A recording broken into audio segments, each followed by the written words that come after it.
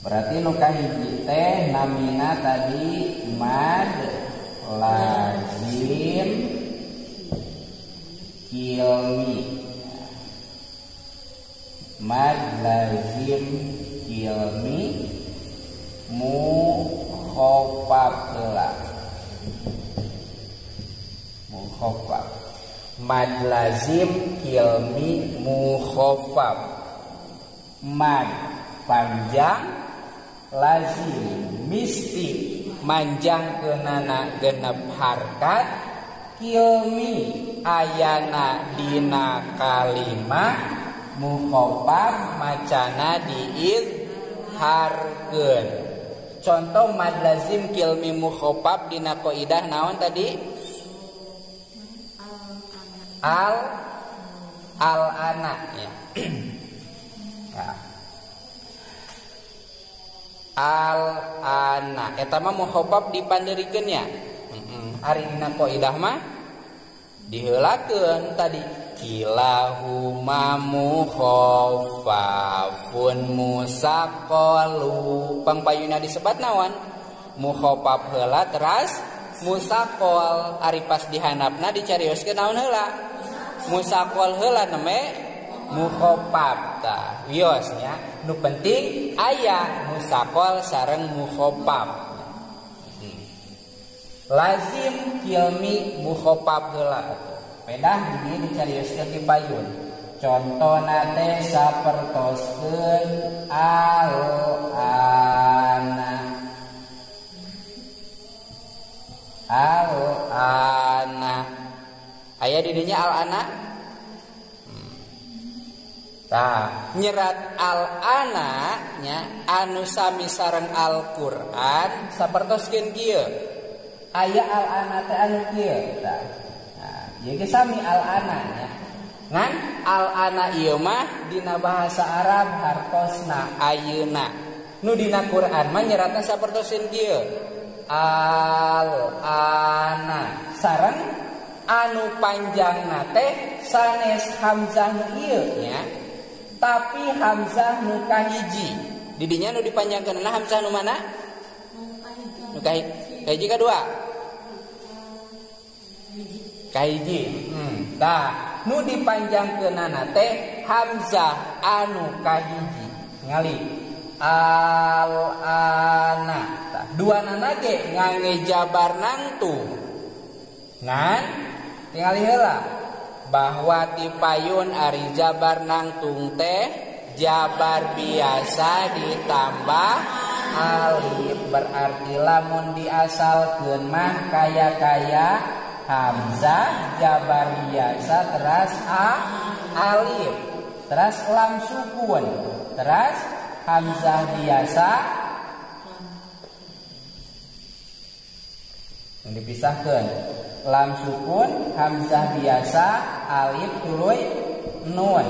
Al ana.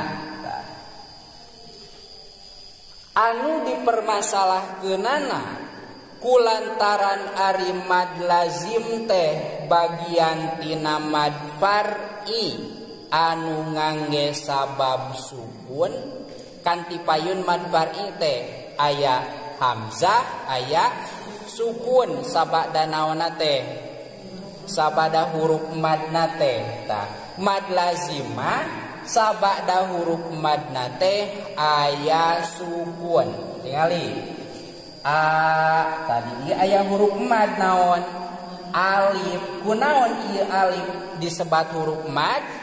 Sabab samemehna dipatahkeun tuluy sabada huruf mad teh kapayuna aya naon?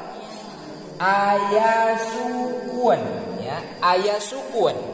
Bari sukuna sukun asli. Bentennya ti payun dina mad arid li sukun masukuna sukun naon sukun anyar asal nama di barisan. Di dieu mah ngigil.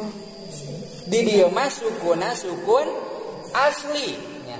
cirina sukun asli teh badai diwasolken badai diwapoken tetap sukuna diaos.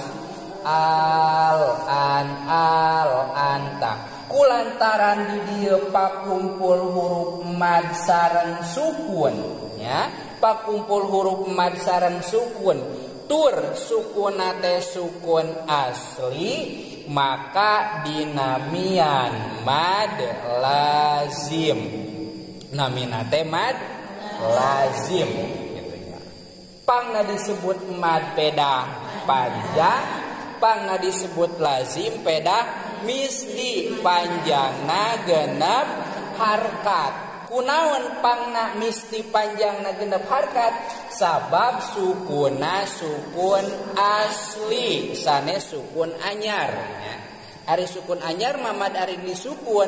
Biasa dua harkat opat harkat dimaharkat kulantaran dinamad lazimah sukuna asli Ari asli teh tidituna atau sukun atuh panjang teh genep harkat. Eta mad lazim salajengna kilmi Ari kilmi teh aya dina kalimah pedah ieu mad lazim teh ayana dina naon? Dina kalimah kalimah naon.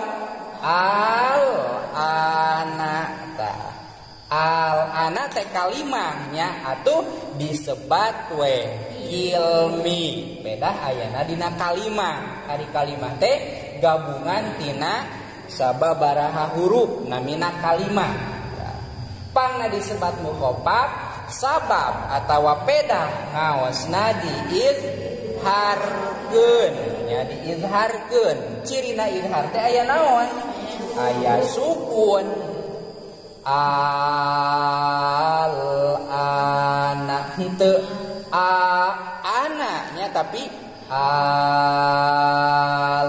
anak kulantaran macana diizharkeun atuh disebat mukhofab ari mukhofab teh hartosna dientengkeun. Beda macana ngaguluyur al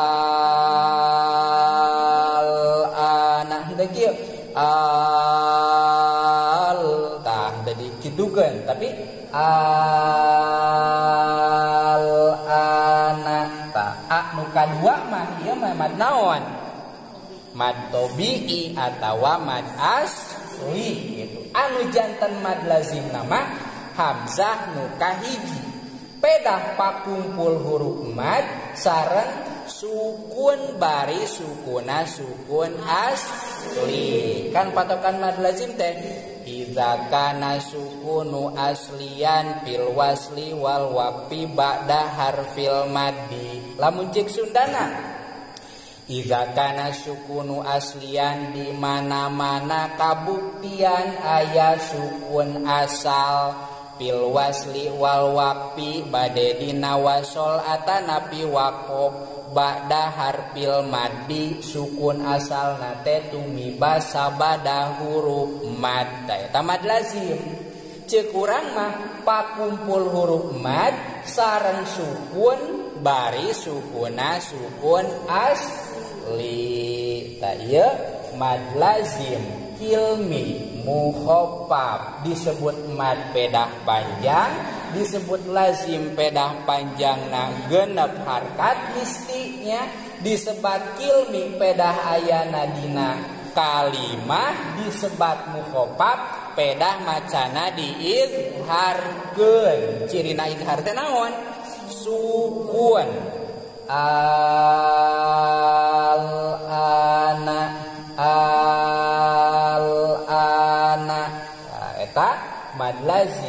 ilmi mukhofaf Ayeuna nomor kedua ayah nu disebat musakol berarti di nama sami kantun tina kilmi ayah musakol